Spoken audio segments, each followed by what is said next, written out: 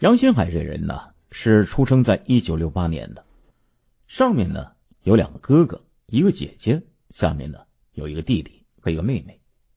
杨新海这个人从小性格内向，不爱说话，喜欢画画。村民对他的评价是勤快，是个好孩子，老实的很。因为学习很勤奋呢，杨新海就成为家中唯一能够上高中的人了。但是据这个村民介绍啊。他们家里没钱供养他上学呀，因此他和父亲吵过架。杨新海呢，出生在河南省的驻马店市正阳县的汝南布镇。他在汝南布镇的油坊店乡高中住校的时候啊，其他同学呢是可以从家里带来的粮食来换饭票吃饭的，但是杨新海却常常煮野菜或是自己呀烧饭吃。幼年的杨新海上学的时候。一到周末呀，就去割草了，放牛去了。那时候啊，牛呢还是集体的。杨新海放牛啊，是为家里挣钱。读到高三的时候，杨新海突然离家出走了。杨新海的父亲杨俊官回忆说，那时候儿子因为没有饭票啊，就捎信回家，说在几天之后，当父亲背着两袋小麦。赶到油坊店乡高中食堂，准备用小麦换饭票的时候，学校老师告诉他呀：“杨新海已经几天没有上课了。”贫穷啊，改变了这个农家孩子的命运。杨新海辍学的原因呢，是想外出闯荡，靠自己的双手过上好日子。此时的杨新海才十六七岁。杨训官后来得知啊，杨新海呢是去焦作的煤矿打工去了。在这之后。杨新海又到了太原的一个建筑队去做饭，并且给家人写了一封信，叫家人不要挂念。杨俊官为此特地的跑到太原去看望儿子了。但是杨新海过上好日子的理想，却在现实之中处处的遇挫。他在打工之中呢，多次遭遇了干了活拿不到工资的情况。终于有一次，他在一家餐馆打工时。被拖欠工资，杨新海一气之下偷拿了餐馆里的一个铝盆这是他第一次偷盗，也是他第一次感到钱财也可以来的容易呀。一九八八年，杨新海被西安市灞桥公安分局劳教了两年。一九九一年，又因为扒窃被石家庄市的长安公安分局劳教了一年。在这一次劳教前，在家乡的女朋友告诉杨新海。他会等待他回来，于是杨新海呀一直用恋人的守候来安慰自己。但是，一年之后，杨新海满怀期待的回到家乡，找到这位姑娘时，却正好赶上他结婚的日子。杨新海觉得呀，那个女人之所以这样做，就是要出他的洋相，让他在别人面前抬不起头来。杨新海于是再次离家出走了，但是出走之后就没有回来过了。一九九六年，在家乡驻马店市正阳县，寂寞难耐的杨新海在本县的一处偏僻的地方碰见了一个女人。这时候，邪恶的欲火呀，一下子就被点燃了。最后，他呢就对这个女人进行了施暴，但是这个女人呢逃跑了，而且呀，杨新海的舌头尖儿啊还被这个女人给咬掉了一块。为了疗伤。他哈了几天的鸡蛋清啊！他呢被法院指控犯有强奸未遂罪，于是，在监狱里啊劳改了四年。这样，二十八岁的杨新海已经有了七年的牢狱生活。二零零零年呢被提前释放了。这些经历慢慢的让杨新海成了一个可怕而又扭曲的人。他对别人没有感情，尤其是仇恨妇女。他开始。在与他家乡一样贫穷的乡村游荡，在与他的父母乡亲一样的人们中挑选要杀害的对象。二零零零年八月中旬，杨新海在安阳市郊区一带转悠。有一天，他看到一大片的菜地，菜地中间散落着几座塑料大棚，有的塑料大棚正在拆除。偌大的菜地只有一家住户，周围没有别的人家。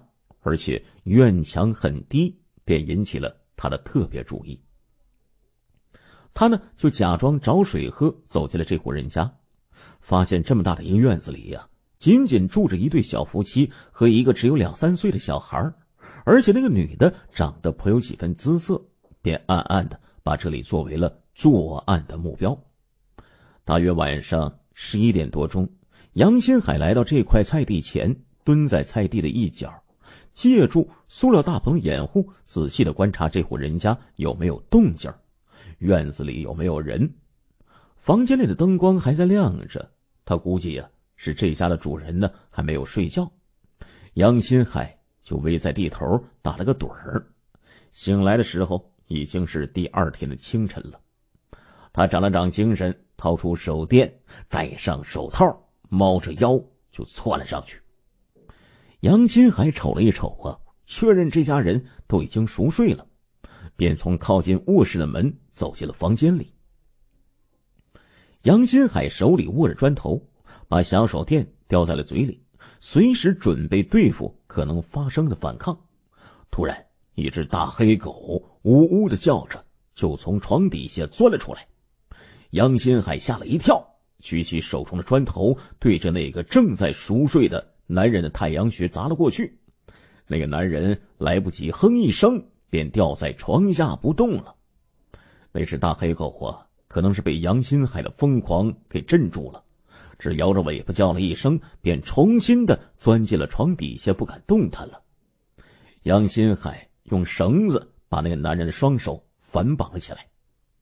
女主人被惊醒了，杨新海低声的对他命令说：“别吭声，快拿钱。”女主人说：“这里没有钱呢。”钱都存在银行里了，你要是想要钱，我明天给你取钱。你要多少，我给你取多少啊！说着呀，这个女人站了起身，杨新海就对她说：“趴下，别动。”女人说：“我不趴下，我一趴下你就该打我了。”杨新海一听，转身出了屋。女主人趁机就把房间里的照明灯给拉着了。这时候，杨新海手里。掂着一个大鸡桶，进门就把灯泡给打碎了，紧接着又用棍子去打女主人。第一下先打到她的腿上，把她打翻在床；紧接着又一下子打到了她的头上，把她打昏了过去。然后将她的双手举过头顶，给绑起来。杨新海呀，就对这个女人下了手啊。发现完兽玉之后，他骑上这一家的。二六型的变速自行车从他们家的西门逃离现场，骑车跑了几十公里。二零零零年九月中旬，杨新海来到了周口市郊区。这时候的他呀，已经听不到安阳方面追查他的任何信息了。他的胆子呀，又渐渐的大了起来。他已经不满足于每天呢靠这些小偷小摸来维持生活了，开始寻找弄钱的大目标。有一天下午呢。他来到了川汇区北郊乡郭庄村，目标终于找到了，他激动的心里突突直跳啊！决定当天晚上就动手。杨金海选定的目标是郭庄村西头的一个小卖店，小卖店的一间房坐西朝东，门前搭着一个草棚，小卖店的西边啊是花生地，小卖店门前就是一条南北走向的大路。房子西北角处有一个草棚，在棚子东侧地面上放有砖块。小卖店店主人是一对老年的夫妻。他之所以将这个小卖店选为作案目标，就是因为这里既容易得手，做了案又容易逃跑。二零零零年九月二十号凌晨，杨新海戴着手套、手电等作案工具，在夜色掩护下，悄悄就来到了郭庄村。整个村子。都处在沉睡的状态。郭庄村善良的人们怎么也没有想到，今夜会有一个恶魔闯进了他们的村子。杨新海先在一户没有院墙的人家偷了一个压井杆，然后回转头直奔小卖店而去。老远啊，他就看见了小卖店的老头睡在了门外。虽然鼾声大作，但是他不敢。闯进屋里去偷东西，怕惊醒老头不利索呀。他就掏出随身携带的一个自行车车座下的钢片，开始挖墙。先挖房子的西北角，这个砖头啊很好撬，他轻而易举的就挖透了。但是用压井杆啊往里面试了一试，里面有东西挡着，进不去。于是他又改挖西南角，很快又挖了一个洞。杨新海从洞里爬进了屋子，看见售货车放在靠西墙的地方，老太太的床啊靠着东南角放，床上没有蚊帐。他见到老太太睡得正香，便去找钱，找了一会儿没有找到钱，确定是老太太把钱给藏起来了，就用压井杆打老太太，砸了两三下以后，又用被子捂住老太太的脸，这个无辜的老太太立马就成了梦中的冤魂呢。杨新海仍然不敢放心大胆的去找钱，怕惊醒了睡在屋外的老头，于是。又到边上去砸老头，用压井杆狠狠的砸了下去，就一下子就把老头的左耳朵给砸岔劈了呀！他接着又砸了两三下，老人就不动了。杨新海重新返回屋子里翻钱，终于在抽屉里边找到了一百块钱。就为了这一百块钱呢，杨新海就残忍的剥夺了这个老人家的生命。其实啊，杨新海在他的作恶的过程当中，很多抢劫、杀人的案件呢，仅仅是几块钱呢。话说，在二零零零年的十月一号国庆节期间的安徽省的阜阳市，一派祥和欢乐的景象。这天下午啊，尽管冒着小雨，杨新海还是从这个阜阳车站坐公交啊，到了颍州区的王店镇。开始实施他罪恶的计划。杨新海一直走到那个带着弟弟捉迷藏小女孩的家门口，停了下来，准备实施犯罪。但是他攥了攥手，看到自己赤手空拳，觉得还是得找一个打人的家使。杨新海在村子里转了一圈，在一个没有院墙的人家门口偷了一根一米多长的架子车的车轴，他把这个车轴握在手里，再次来到小女孩家的门口。小女孩的家住在村子的中间，三间堂屋没有院门，因为天气还比较热，睡觉的时候屋门也没有关。堂屋里呀睡着三个人，老太太带着一个小男孩睡在一个抵着门的凉床上，小女孩睡在西边的一间屋里的木床上。杨新海看了看，侧身呢，就从凉床西边的夹缝中挤进房间，他打亮了手电筒。看到十多岁的小女孩睡在西屋，靠北墙铺的木床上，头东脚西。房间里除了两张床和一些生产生活用品之外，再也没有任何可以偷的东西了。他就把目标定准在了小女孩身上。为了在实施犯罪的过程中不惊动周围的其他人家，杨新海举起了手中的那个铁车轴，对着老太太连砸了两下，然后又砸了那个小男孩的头。杨新海看了看，老太太和小男孩都不动了，又到西间屋照床上小女孩的头上砸了一下。杨新海已经完全丧失人性，他觉得血已经不可怕了，受害人痛苦殊死的样子也不能让他同情。他所做的一切都是为了满足自己猥琐的卑劣的欲望，为了发泄自己一时的兽欲，他不惜大开杀戒。性情冷酷的杨新海，将老太太和他的小孙子杀死之后，已经没有任何的恐惧感了。他从老太太下身穿的黑色的健美裤的口袋里掏出了七块钱，然后拉过被子将他的尸体给遮住。他从容的做完这一切之后，又重新回到了西间屋，对小女孩的尸体进行了性侵犯呢。二零零零年的第一场雪比以往的时候来的晚了一些呀。杨新海在野地里发现了一条冻僵的蛇，但是他一点都不害怕，甚至于对死蛇生出了一点怜悯的心来。他觉得死蛇呀，对他来说是一种征兆，预示着他今后的日子将多灾多难。因此，从不发善心的杨新海特意挖了一个小坑。就把这个死蛇也给埋葬了，像是在埋葬自己的罪恶一样。埋完之后，他独自坐在死蛇的坟前，叹息呀，感觉自己呀还不如一条死去的蛇。死去的蛇尚且有个安身之地，何处才是他的存身之所呢？那天夜里，杨新海没有去偷盗，也没有再去寻找住宿的地方。凛冽的寒风把他的性冲动也给冻僵了，他就像一个乞丐那样，在野外胡乱的找了几块干瘪的薯片，塞进了嘴里，便在就近的野外的一个坟场里睡下了。第二天，太阳出来了，几乎冻僵了的杨新海又重新在阳光的温暖下苏醒过来，就像寓言里被农夫用胸怀暖醒的那条毒蛇一样。杨新海在大自然博大的胸怀里又复苏了。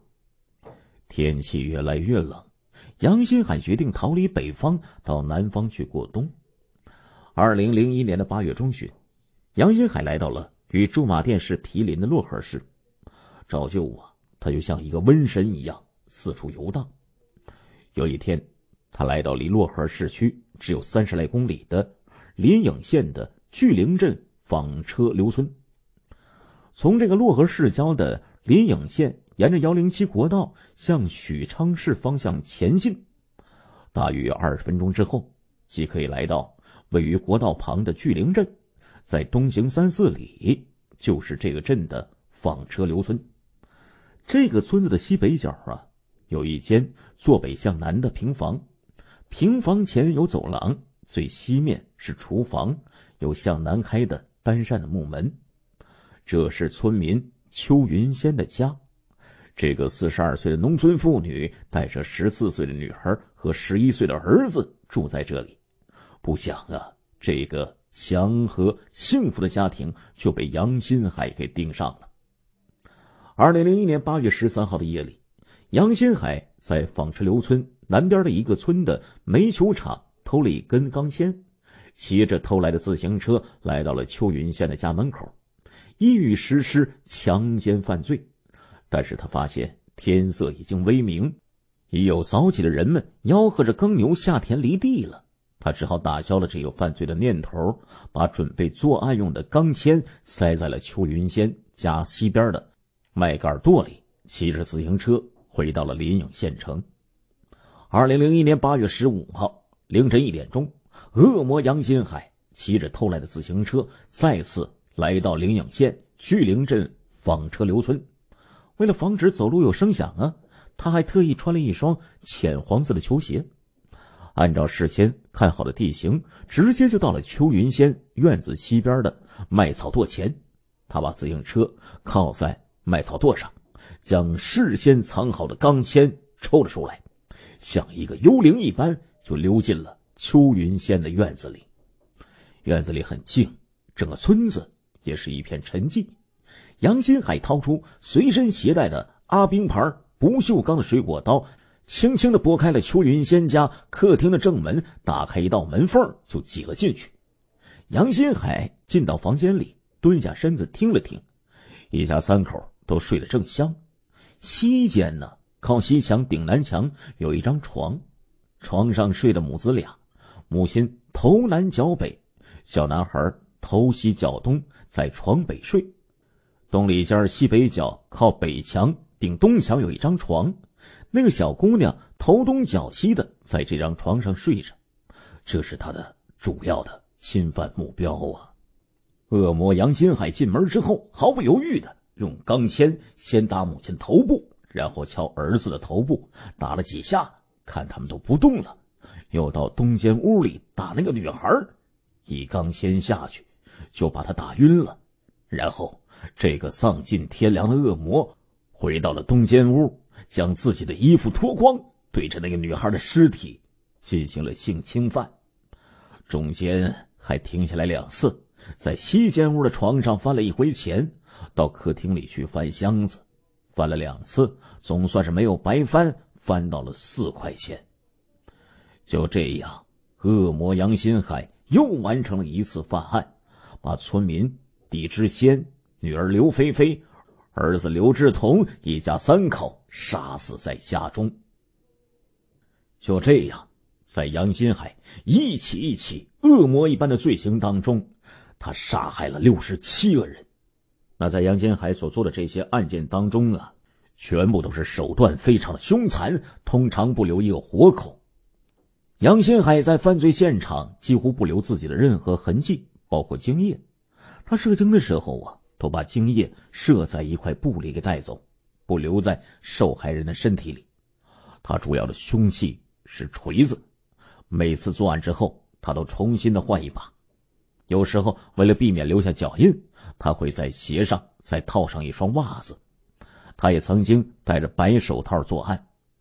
杨新海虽然嗜血成性。但是他的作案动机却一直让人摸不清楚。有些现场虽然有抢劫，但有的仅仅就是抢走几块钱呢。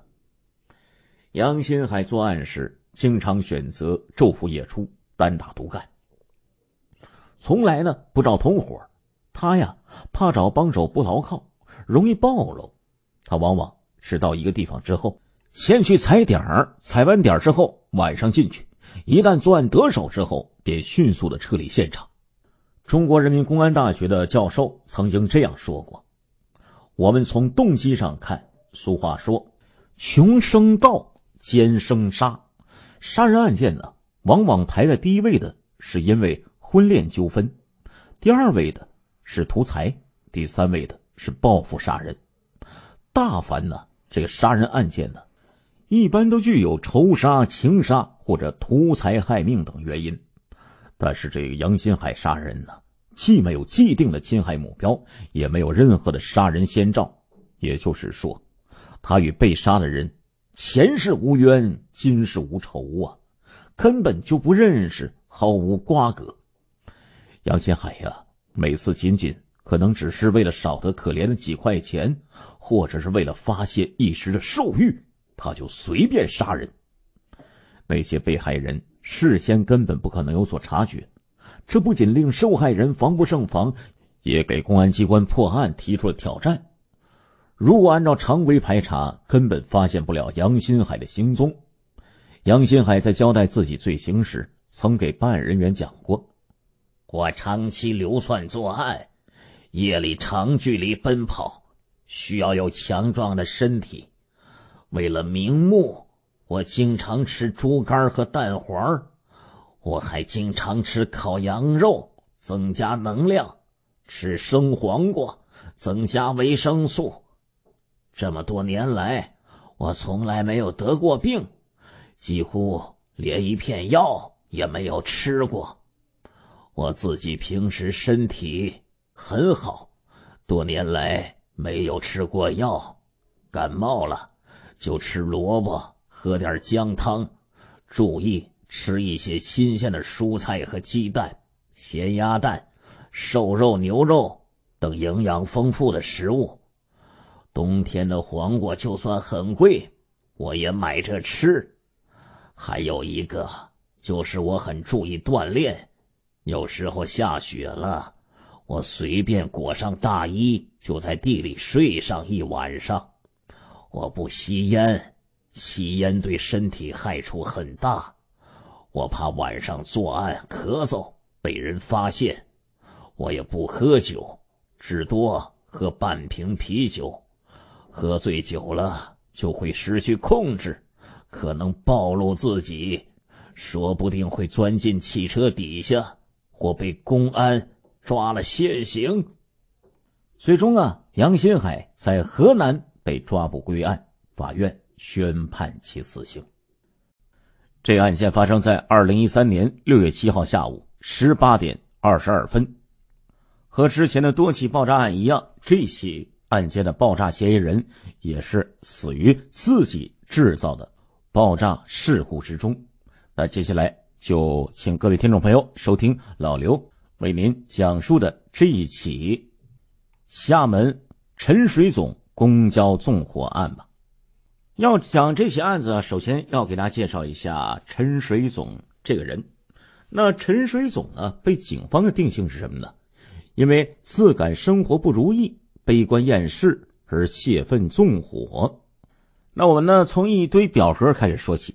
在厦门市思明区中华街道中山社区的居委会呀，这些表格被装订成了厚厚的一本陈水总的情况资料册，但是它仍然不足以说明为什么一介草民会对同处一车的陌路人实施极刑的动机呀。与这个陈水总的人生有着短暂交集的人们呢，都对他结束生命的方式难以置信。说这位爱穿白衬衫，偶尔甚至会打起领带，头发梳得光光亮亮，努力让自己显得体面的姜老之人，在点燃汽油之前有着怎样的人生呢？所有一开始听到这个消息、认识陈水总的人呢，都有着同样的惊奇：这是不是？同名同姓的不同的人呢？陈水总这个人呢，出生在一九五二年，住在厦门市的菊口街二十四号，是家中八个孩子中的老三。但是啊，可悲的是，这一家兄弟姐妹八人呢，其中有四人呢都是吸毒的。话说有一年的端午节前呢，中山路上是挤满了游客。这条老街呀，代表着厦门的繁华。以骑楼文化和闽南风情蜚声海内，挂着女人街的牌坊的菊口街，从这个中山路旁斜溢而出。街市的音乐此起彼伏，游人是侧身钻进了街口，像着老鼠一样，倏然的就进了洞穴。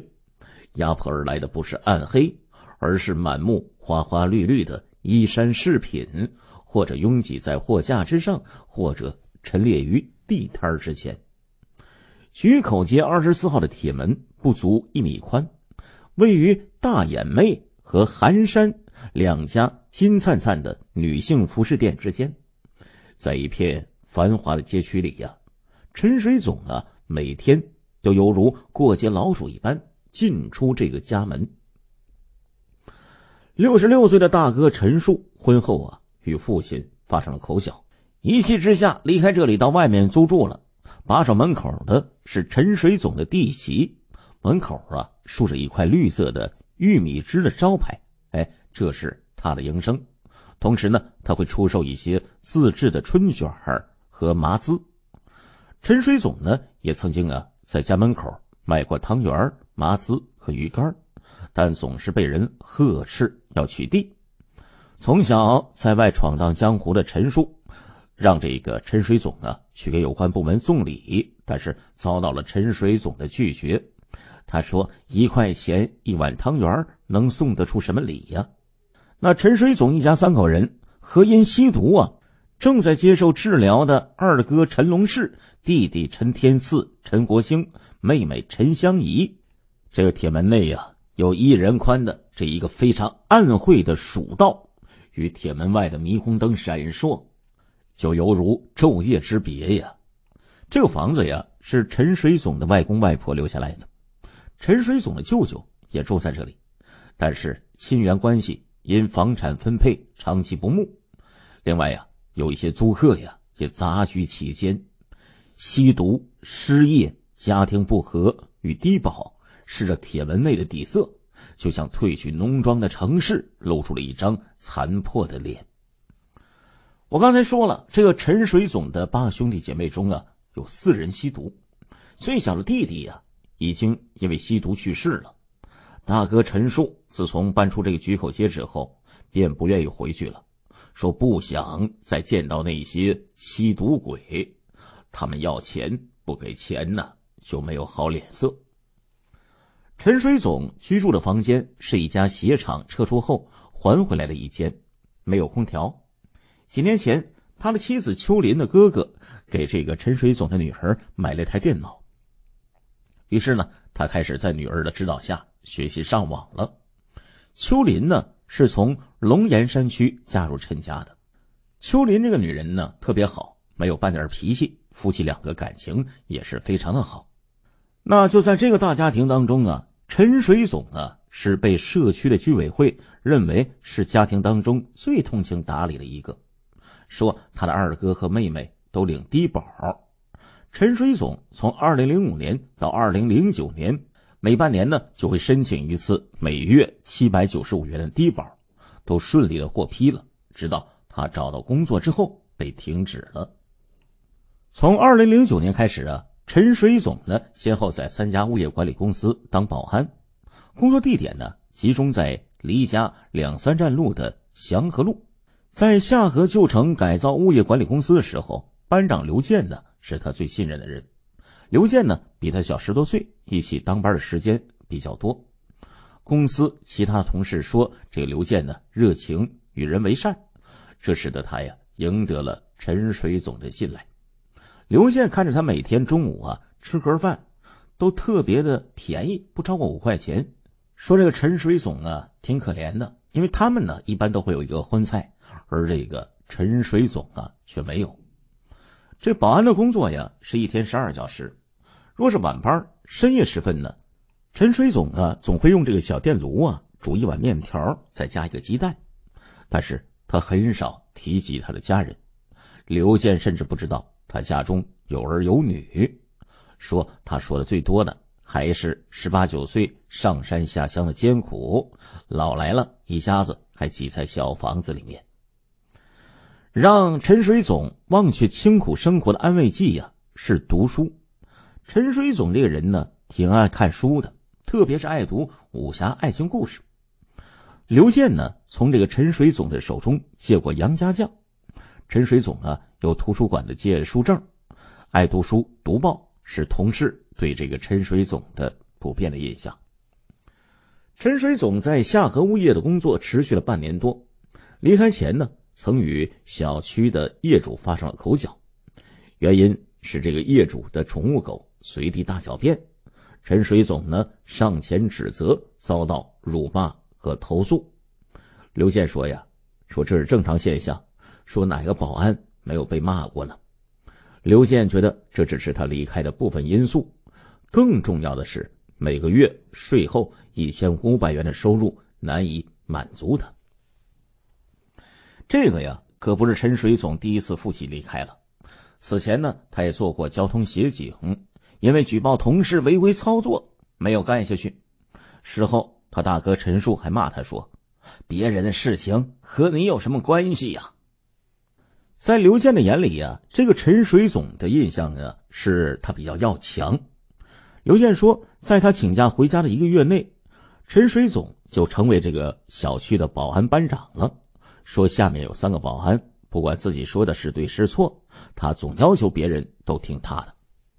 偶尔呢，陈水总啊和刘健也会闹别扭，刘健就说了：“如果我不听他的，他当时会生气，事后也会反省，但是不会主动认错，会主动的和我说话示好。那我知道他心里呀就是示弱了。虽然有一些领导欲，刘健发现呢，他每天下班都准点回家，稍有晚一点的时候，也必然会给妻子打电话。”陈水总从夏河物业离开之后，时常给刘健打电话，告诉刘健说：“呀，他去了窦仔伟的一家酒店工作了，收入呢高了一些，而且呢还试图说服刘健也离职，称呢可以帮他在网上找到更好的工作。”但是没过多久啊，刘健又听说他又到了附近的义城小区的风采物业做了保安了。此后两个人仍然见面。说这个陈水总啊，经常跑过来找我，每次都能聊上半个小时，话题大多是交流各自的保安工作。说他们那边啊是四天一休，说我们这边一个月休三天，他们每个月一千八，我们这边后来也涨了，就差不多了。这个呀，就是他的同事对这个陈水总的一些印象。那话说，在这个陈水总刚刚离职不足一个月的时候啊。陈水总呢，开始奔忙于为自己办理退休。在陈水总的上访日记当中记录啊，说三月七号，我拿着户口本底册复印件和身份证到思明公安局户政处办理年龄更改，但是没想到让董科长的一句证据不足就把我给挡回来了。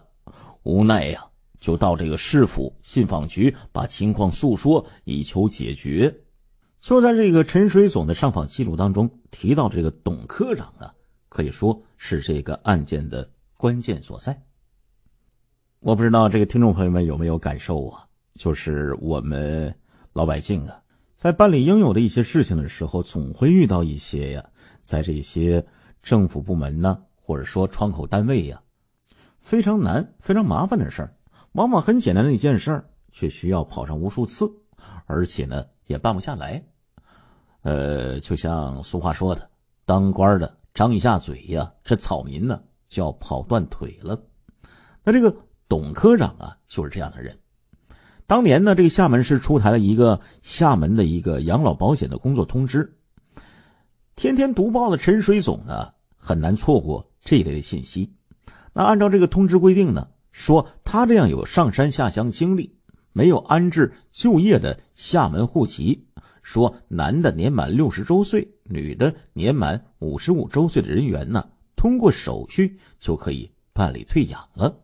那陈水总接到这个消息，经过他这个去办理的过程当中呢，听到这个街道有人说：“说你今年不办呢，明年就办不了了。”于是陈水总啊就全力以赴的要把这件事情给办成。可是面对如此心急的要办理这个事情的陈水总啊，这董科长啊却满嘴的忽悠啊。对于这个陈水总要改户口年龄，应该怎么改？他应该及时讲清楚、办明白，这是他职责呀。但是啊，这个陈水总跑了好多次，就是搞不清楚，让草民跑断腿也不给办理。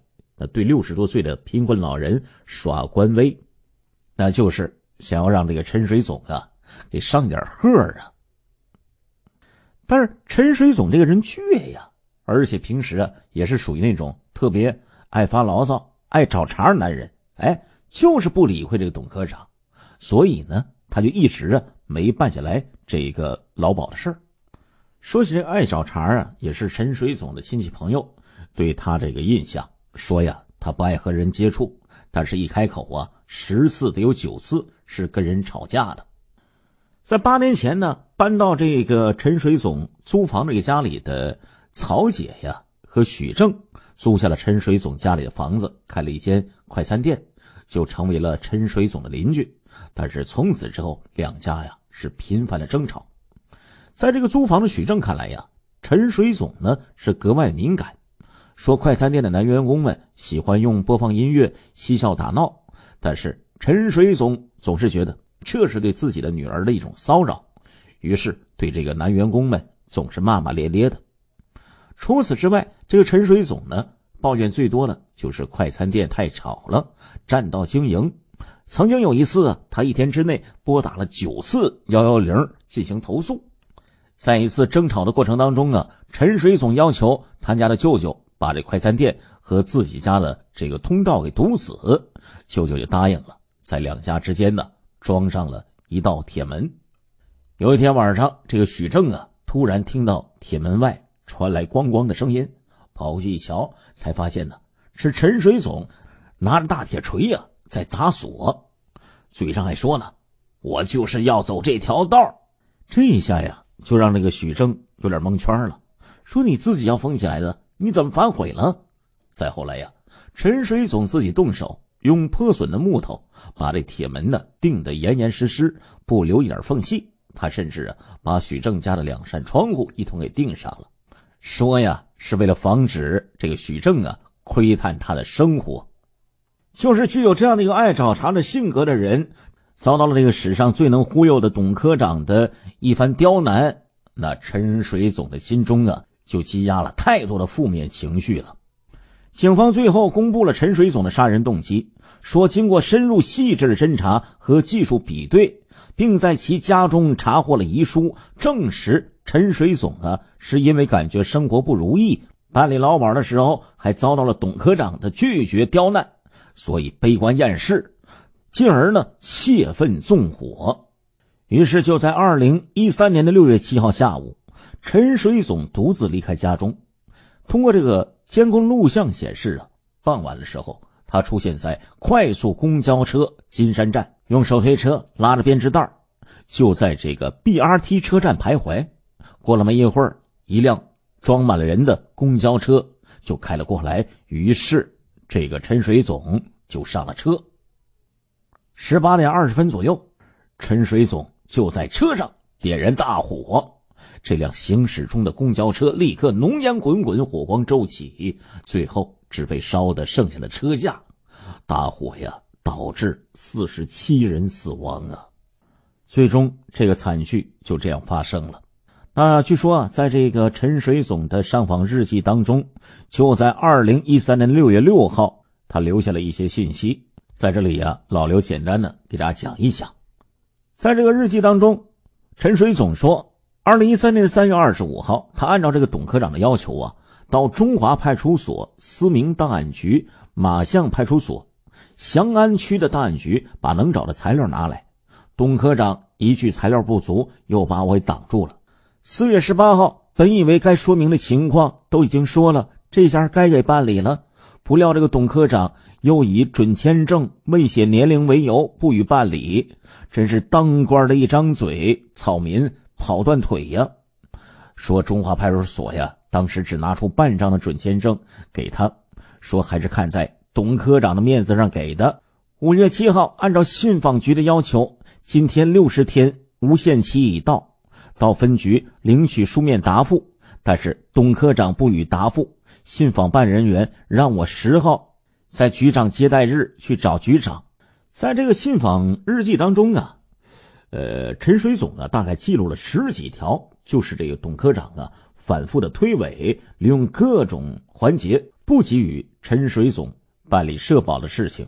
最后啊，陈水总在这日记当中写道：“现在我总算明白衙役猛如虎的含义了。”那在这个案件呢，老刘讲到这里就差不多了。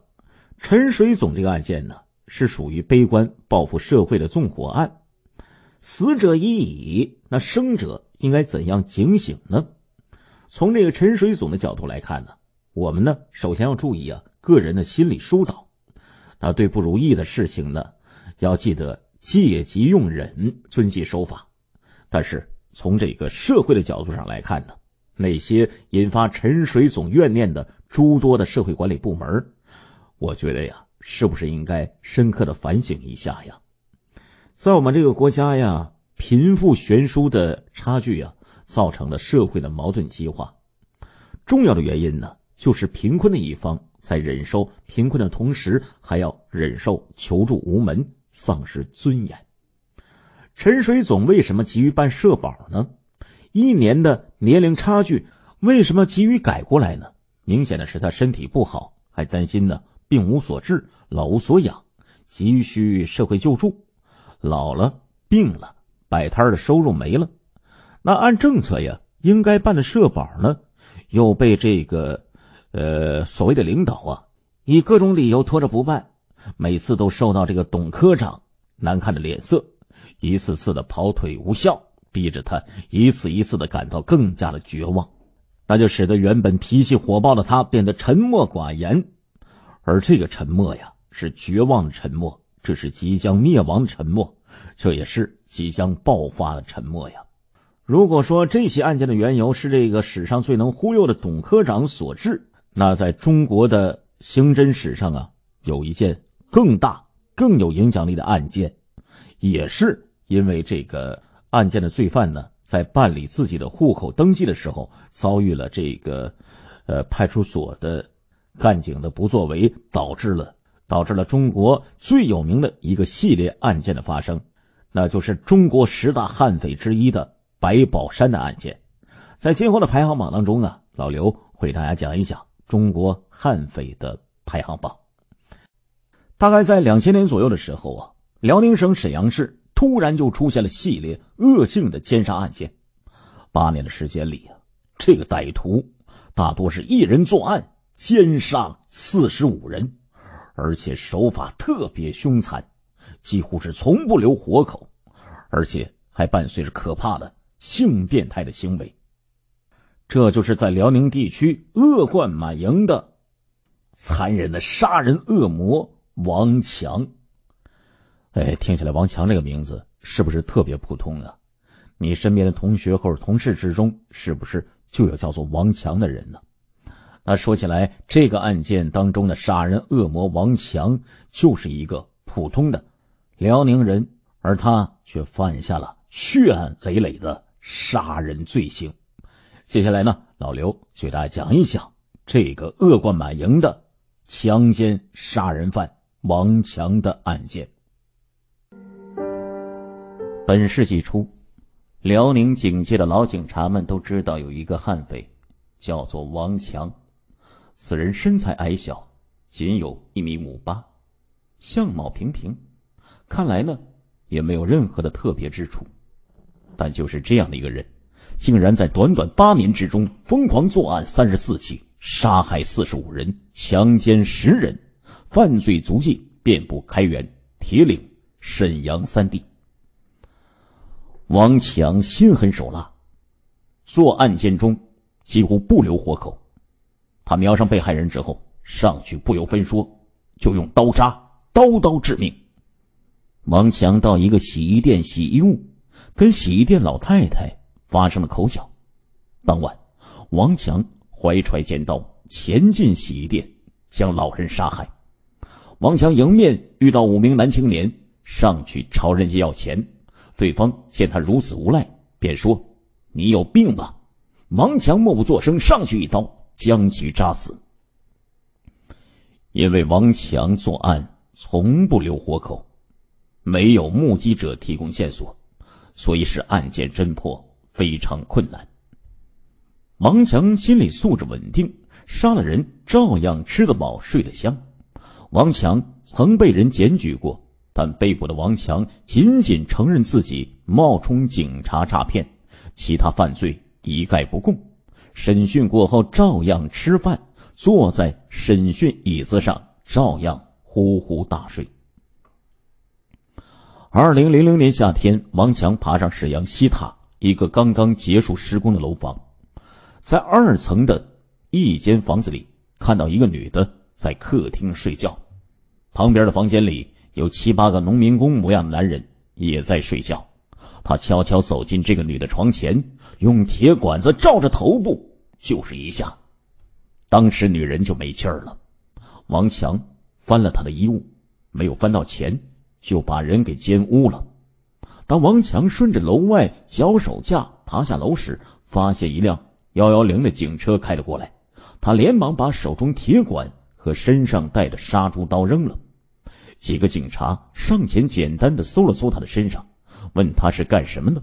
他说是外地来打工的。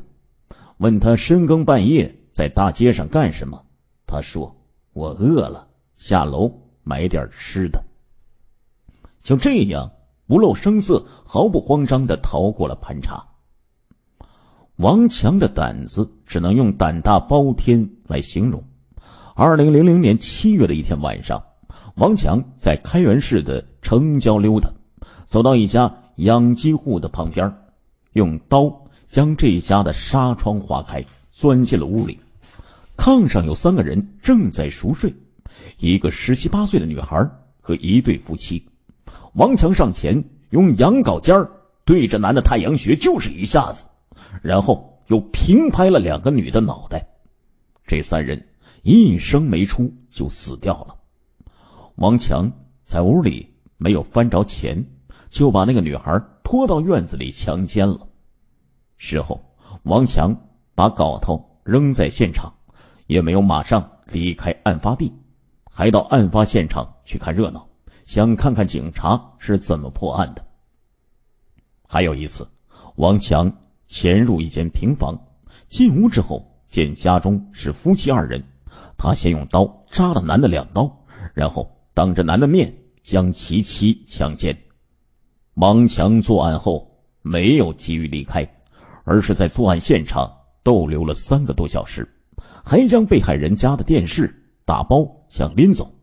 并和两名被害人唠嗑，最后他问男的有没有孩子，男的说有一个儿子，今天没在家。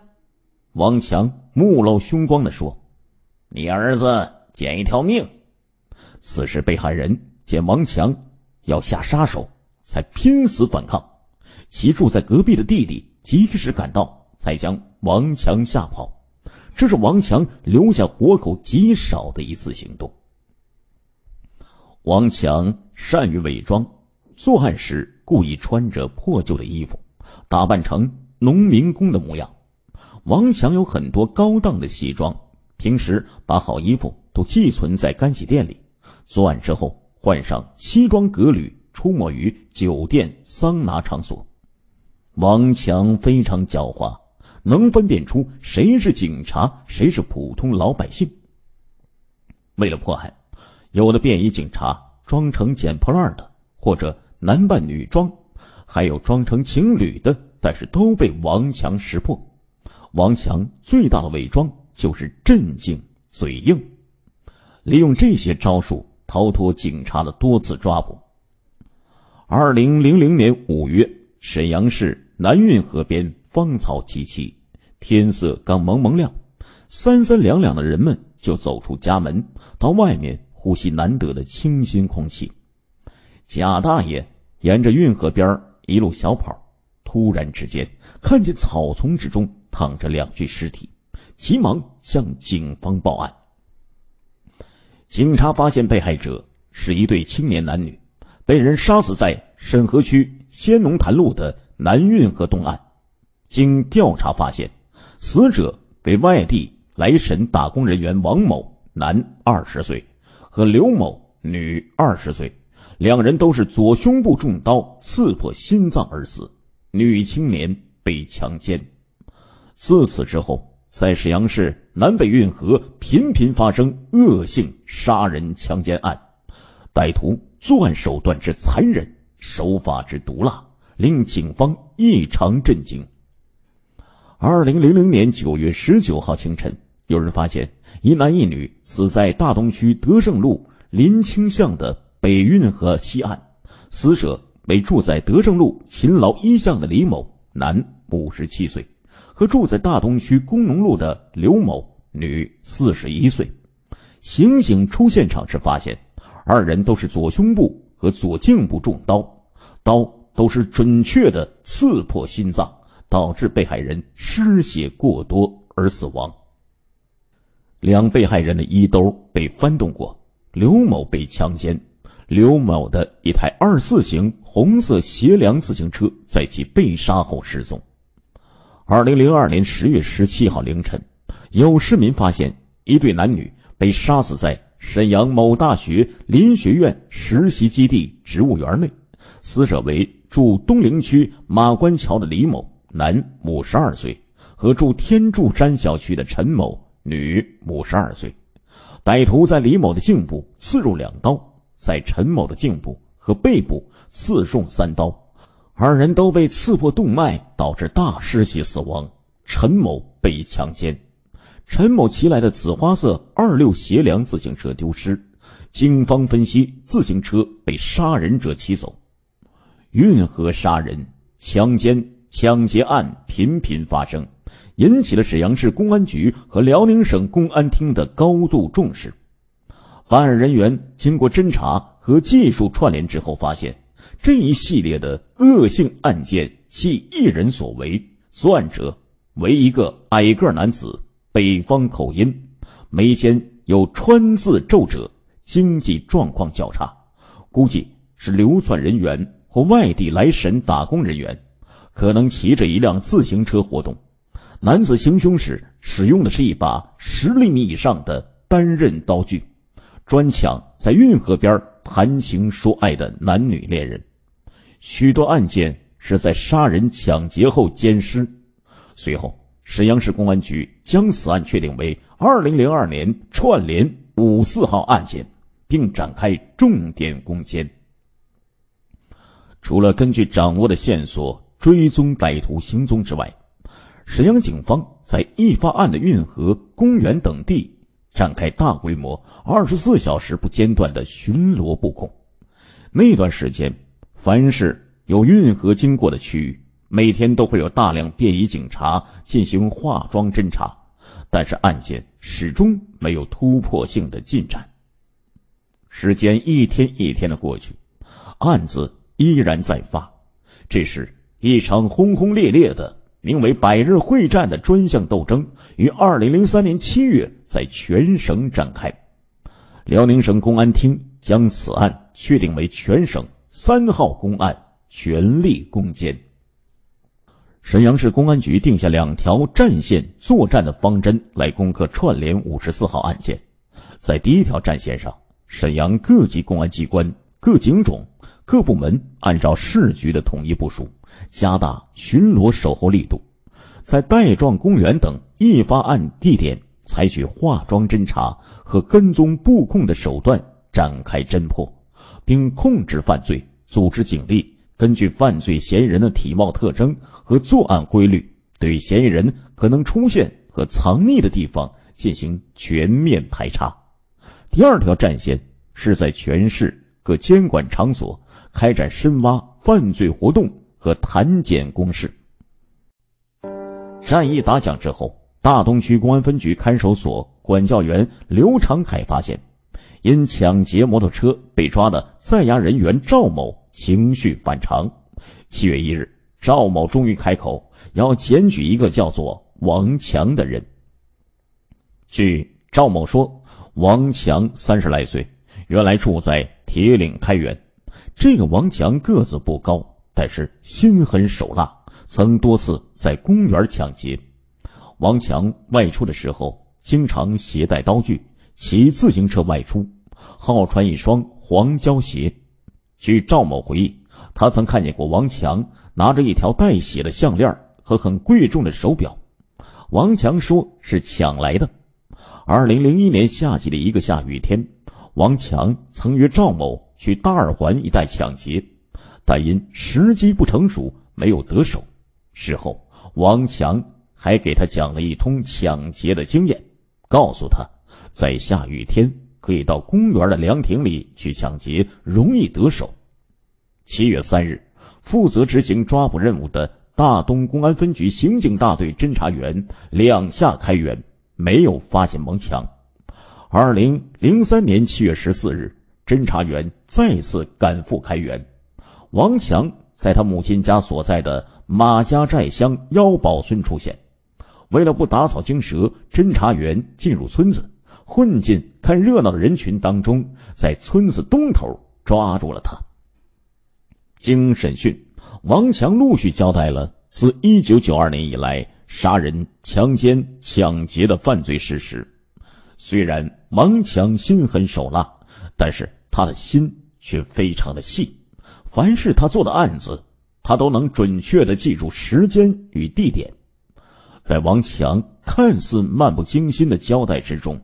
王强残暴与恶毒的嘴脸也越来越清晰。历经了多年的苦苦追查之后，公安机关终于破获了此案。作案三十余起，杀害五十余人，串联五十四号的罪魁祸首嫌疑人王强终于落入法网。二零零五年三月二十三日，超级杀人狂王强终于在辽宁沈阳接受。法律正义的审判。王强，一九七六年生，是开原市马家寨乡杏花村人。王强说，父母都是农民，有一个弟弟在大连渔船上打工。王强没有文化，只上过小学一年级，二年级上了没几天就离开了家。在他的记忆中，他的爸爸是赌徒，赢了回来就喝大酒，输了就拿王强哥俩。和妈妈出气，不是打就是让他们跪着，有时一跪就是半宿。在王强八岁那年，爸爸和妈妈离婚，离婚以后，爸爸根本不管王强，爷爷奶奶也不愿意管，动不动还要打骂他。十三岁的他才上学，后来跑到了沈阳。王强整天就在沈阳站一带混，遇见一个三十多岁的人。叫王森林，王强和他学掏包后被劳教，出来之后，他决定和朋友一起干。王强找同伙的标准有三个：一是同乡，二是家中贫困，三是岁数不大。被王强带出来的有杨兴波、赵俊鹏、戴军和谭涛、谭勇兄弟等人。在沈阳作案期间，他们住的、吃的、用的。都是由王强负责，但是有一条，必须听他的。有了自己放心的同伙，王强的胆子更大了。一到晚上，就带着他们在沈阳公园转悠，寻找野鸳鸯，然后冒充警察敲诈。后来干脆见到恋爱男女就下手抢劫。一九九四年夏季的一个晚上，王强等人溜达到南湖公园，在湖边的一个僻静处发现一对情侣，便上前索要钱物，遭到拒绝后，他就掏出刀来扎这对男女，直到把他们打入湖中。为了保证作案成功，王强还有意培养手下人的胆量。有一次，在青年公园里见到一对青年男女，他让杨兴波和戴军先上去，可是他们两个折腾了半天也没有整服人家。王强顺手操起一根木棒子，照着男的脑袋就是一下子，这男的当时就倒下了，女的也吓得不喊了。他们翻走了两个人身上所有的钱物，最后王强还把女的拽到旁边的树林中强奸了。从一九九四年以来，王强带着他的弟兄们在沈阳、铁岭、开原、北京作案多起。如果抢的多了，王强根据每个人的表现分钱。王强一直担心人多嘴杂，把自己被人撂出去。一九九六年初。真的有人把他给撂了。当时王强咬着牙硬挺，只承认冒充警察敲诈这件事儿，结果还真的挺了过去，被劳教三年。这件事促使王强抱定做大案一定要单干的决心。一九九八年十二月四日，王强被提前半年释放，出来的当天晚上，他就直奔沈阳南运河边儿。见一个女青年在河边散步，他上去就用木棒子将其打倒，把她强奸。没过几天，王强又在沈阳西塔地区将一女青年用铁棒子打倒后强奸。从劳教所出来的第一年里，单独作案就有二十多起，杀死十几人，不知是死是活的也有十几人，强奸七八个人。王强逐渐养成了残忍、暴躁的性格，以及极强的报复心理。结婚没几年，老婆就离婚了，所以他对女人特别的恨。有几次在实施强奸犯罪的时候，被害人求王强别杀他，最终王强还是把被害人杀掉了。在和平区解放电影院附近有一个干洗店。平时王强经常到这个店里洗衣服，这家人看不起王强，总向他索要高价，他怀恨在心。二零零零年七月八月份的一天凌晨，王强带着两把杀猪刀来到这家干洗店，敲门时是老太太开的，其他人不在，他上去就是一刀，把老太太刺倒。老太太捂着伤口问王强：“为什么杀他？”